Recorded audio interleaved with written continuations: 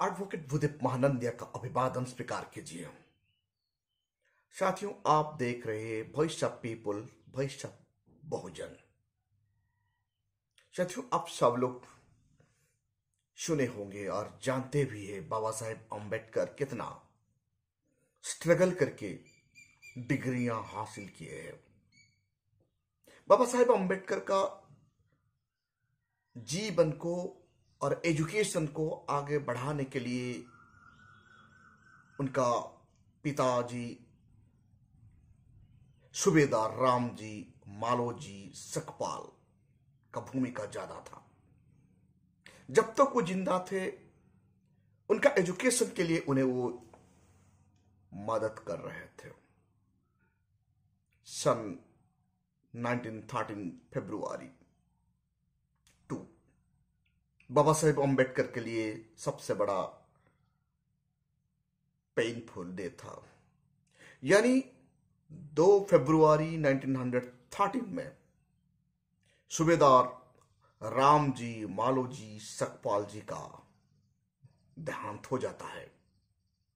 बाबा साहेब अंबेडकर को यह सबसे बड़ा सख्त धक्का था। फिर भी बाबा साहेब अंबेडकर हार नहीं माने। उनको शिक्षा का भूख, आगे पढ़ने की भूख ज़्यादा था। कंडीशन के अनुसार शिक्षा समाप्ति के बाद बड़ोड़ा महाराज का राज दरबार में नौकरी करना था। बाबा साहेब बड़ोड़ा महाराज का दरबार में नौकरी कर नहीं पाते। सबसे बड़ा कारण यह है कि वहाँ वो उनको ठहरने के लिए जगह नहीं मिलता। अपना नाम छुपाकर भी एक पासी होटल में ठहरे थे।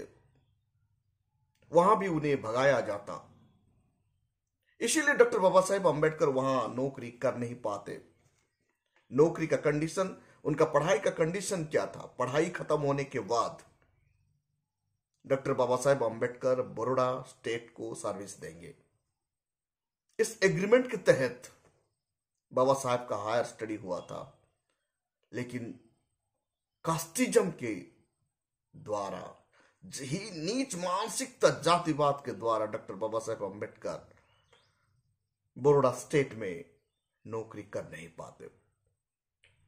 और वो उनका नौकरी डिसकंटिन्यू कर देते हैं और मुंबई चले आते हैं। साथियों बड़ोड़ा महाराज जून 1913 में एक डिक्लेयर करते हैं। और तीन स्टूडेंट को उनका स्टेट से कोलंबिया यूनिवर्सिटी पढ़ने के लिए भेजेंगे, United State of the America. जब ये बात डॉक्टर बाबा साहेब अंबेडकर जानते हैं, वो महाराज सायोजीराव गायकवाड़ को मुलाकात करते हैं। राजा उन्हें भली भांति जानते थे। तो उस वक्त राजा गायकवाड़ महाराज मुंबई आए थे। बाबा साहेब अंबेडकर महाराज को साक्षात करते हैं at the Malabar Hill Palace. Malabar Malabar Hill Palace में महाराज सावजीराव गायकवाड़ ठहरे थे तो डॉक्टर बाबा साहेब अंबेडकर जाके मुलाकात करते हैं हायर स्टडी का प्लान के लिए। महाराज और डॉक्टर बाबा साहेब अंबेडकर का मुलाकात होता है। मालवर हिल पैलेस में लगभग आधा घंटा बात दोनों को बीच में होता है। उसमें बाबा साहेब अंबेडकर और महाराज गायकवाड़ का बीच में बात क्या हुआ था? महाराज पूछते हैं बाबा साहेब अंबेडकर को कौन कौन सा सब्जेक्ट में आप पढ़ना चाहते हैं? America United State of the America जाके, जो कि कोलंबिया यूनिवर्सिटी जाके। तो डॉक्टर बाबा साहेब अंबेडकर रिप्लाई देते हैं, मैं ऐसा सब्जेक्ट में पढ़ना चाहता हूँ, जो सब्जेक्ट की मेरे समाज का, मेरी सोसाइटी का लोगों का काम के लिए आ सके। तो उनका सब्जेक्ट वो चूज़ किए थे Baba Saheb Ambedkar sociology economic and specially public finance राजा पूछते हैं, आप ये सब्जेक्ट क्यों लेते हैं? क्या ज़रूरत है आपको इकोनॉमिक पढ़ने के लिए स्पेस स्पेस सोशियोलॉजी पढ़ने के लिए और पब्लिक फाइनेंस पढ़ने के लिए?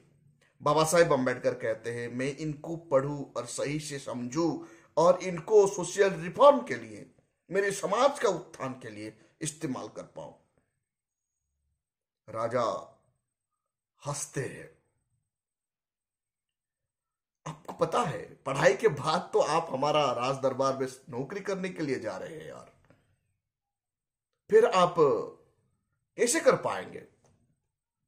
बाबा साहेब अंबेडकर कहते हैं, आप अनुमति दे तो ये संभव है। ऐसी दोनों का बीच में बातचीत होता है। बाबा साहेब अंबेडकर और राजा का बीच में एक पैक्ट होता है। ये पैक्ट ये है कि दस साल के लिए बाबा साहेब अंबेडकर बड़ोड़ा महाराज का पास काम करेंगे। कितना? दस साल। तो फोर्थ जून 1913 में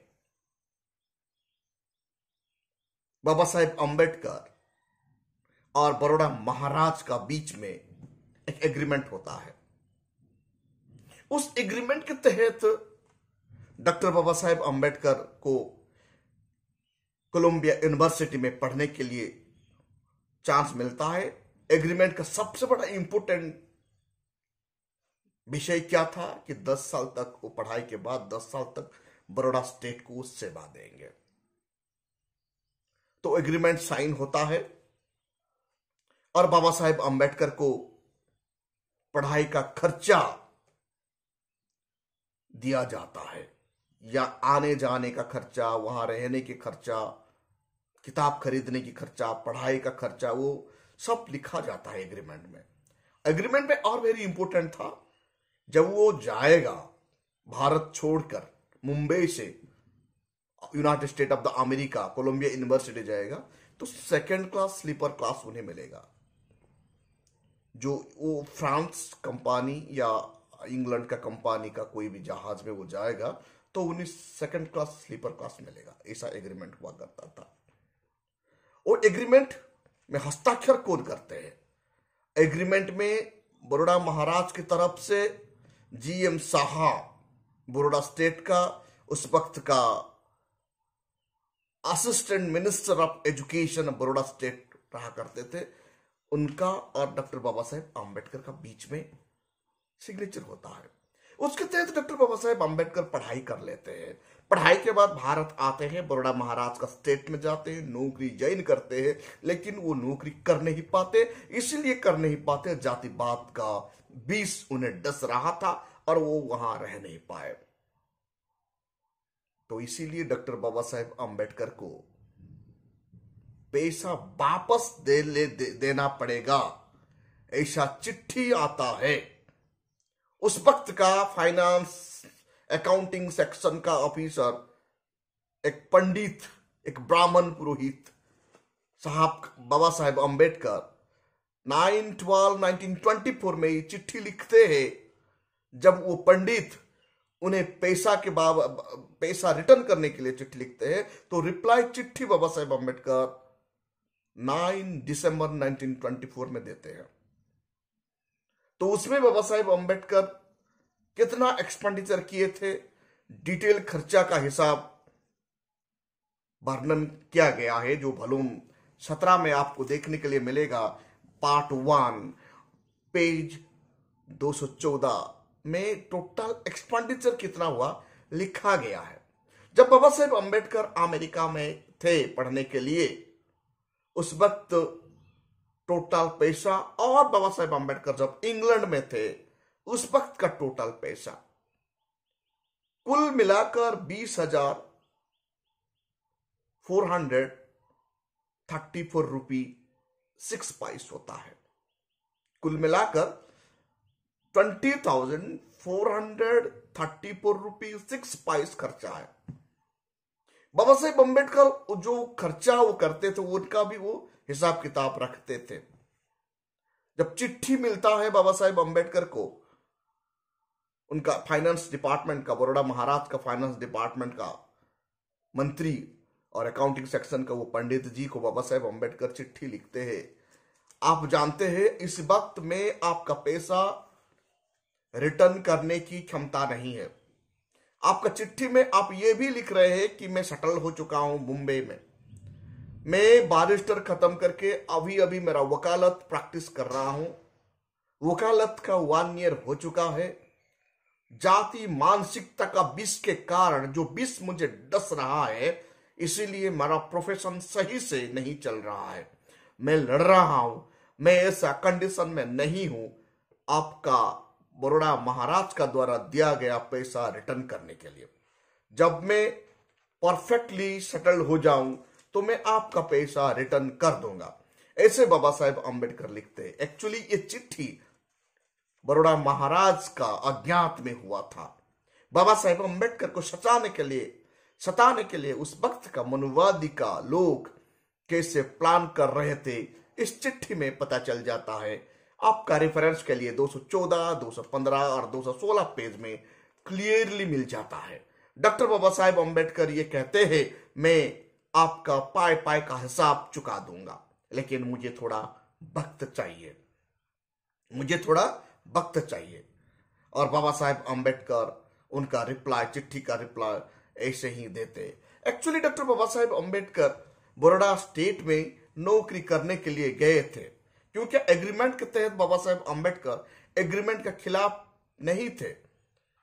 लेकिन सोसाइटी मनुवाद सोच रखने वाले लोग, जानबूझकर बाबा साहेब अंबेडकर को बड़ोड़ा स्टेट में नौकरी करने नहीं दिया गया। उनको ठहरने के लिए जगह नहीं मिला। इतना बड़ा ओहदे पर रहते हुए भी बाबा साहेब अंबेडकर को कोई भी सुविधा नहीं मिला, ये बात महाराज भी भले भांति जानते थे। फिर भी मनुवाद सोच रखने वाले पंडित जी बाबा साहेब अंबेडकर को चिट्ठी लिख के सताते हैं, पैसा वापस के लिए। और डॉक्टर बाबा साहेब अंबेडकर उनका रिप्लाई 9 दिसंबर 1924 में क्लियरली लिख देते हैं और वहाँ एक बात कहते हैं I am a man of character मैं ऐसा एक इंसान हूँ। I am a man of character ये शब्द वहाँ वो यूज़ करते हैं। उनका मतलब क्या है? सचमुच में डॉक्टर बाबा साहेब अंबेडकर अच्छा कैरेक्टर का इंसान था। आज तक डॉक्टर बाबा साहेब अंबेडकर जैसे कैरेक्टरवान व्यक्ति भारतवर्ष में कोई पैदा ही नहीं हुए। बाबा साहेब अंबेडकर, इसीलिए आज भारत का मसीहा बताया जाता है। बाबा साहेब अंबेडकर को इसीलिए आज नॉलेज ऑफ़ द वर्ल्ड बताया जाता है। बाबा साहेब अंबेडकर को इसीलिए आज सिंबल ऑफ़ द नॉलेज इसीलिए डॉक्टर बाबा साहेब अंबेडकर को कोलंबिया यूनिवर्सिटी जैसे यूनिवर्सिटी में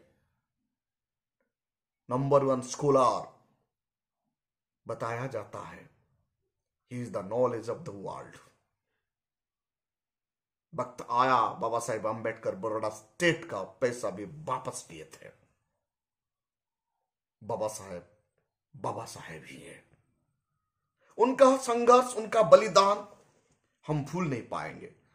लेकिन इसके लिए बाबा साहेब अंबेडकर का और एक डायना हाथ होके मदद किया, जाया गया था उनका स्टडी में।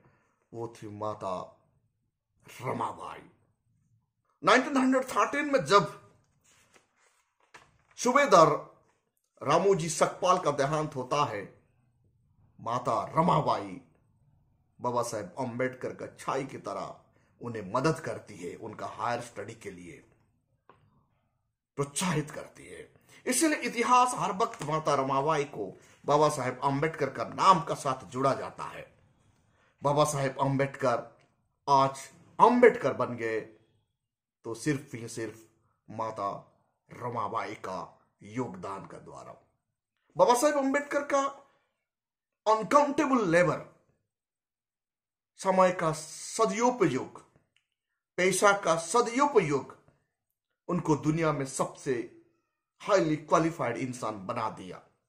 लिमिटेड सोर्स में डॉक्टर बाबा साहेब अंबेडकर दुनिया का तमाम डिग्री को हासिल कर लेते हैं क्योंकि वो वक्त को सही से इस्तेमाल करते थे। वो जानते थे उन्हें हाईली एजुकेशन रिक्वायर्ड है। तब जाके वो समाज को परिवर्तन कर कर, कर पाएगा। जब महाराज के साथ उनका डायलॉग हुआ हुआ था एजुकेशन के बारे में महाराज सायोजी गायकवाड़ का साथ तब उस दिन उन्होंने बोल बोले थे यानी आपका जून 1913 में बाबा साहेब अंबेडकर ये बात कहते थे, उनका सब्जेक्ट चूज़ जब सब्जेक्ट चॉइस के बारे में पूछा गया था, तब ये बात बाबा साहेब महाराज को कहे थे। क्या ये बात था? उनका सब्जेक्ट था sociology economic and public finance जब sociology economic and public finance क्यों पढ़ने के लिए इच्छा है, ऐसे प्रश्न जब कस्ट एग्जामिनेशन करते हैं तो महाराज, तब बाबा साहेब अंबेडकर कहते हैं ये पढ़ाई मेरे समाज का उत्थान के लिए करूँगा। सचमुच में बाबा साहेब अंबेडकर इतना इतना डिग्री का धनी क्यों हुए? उन्हें पता था यह सब ज़रूरी है उस वक्त का समाज को परिवर्तन करने के लिए। यह सब ज़रूरी है दबे कुचले लोगों को आगे बढ़ाने के लिए। यह सब ज़रूरी था डॉक्टर बाबा साहेब अंबेडकर को भारत में, भारत का बहुजन को आज़ादी दिलाने के लिए। इसीलिए बाबा साहेब अंबेडकर को आज man of the character knowledge of the world symbol of the knowledge of the world और कोलंबिया यूनिवर्सिटी में सबसे हुनार छात्र जैसे उपाधि में नवाजा जाता है। लेकिन बड़े दुखद की बात है, जब तक बाबा साहेब अंबेडकर ज़िंदा थे, तब तक उस वक्त का मनोवादी सरकार उन्हें सता रहा था। मरणोपरांत बाबा साहेब अंबेडकर को दादा साहेब कांसीराम और बहन मायावती जी का संघर्ष का फलस्वरूप उन्हें भारत रत्न उपाधि दिया जाता है। आज का तारीख में छक्का मारने वाले को भारत रत्न मिलता है। आज का तारीख में नाचने वाले को भारत रत्न मिलता है। आज का तारीख में गाना गाने वाले को भारत रत्न मिलता है।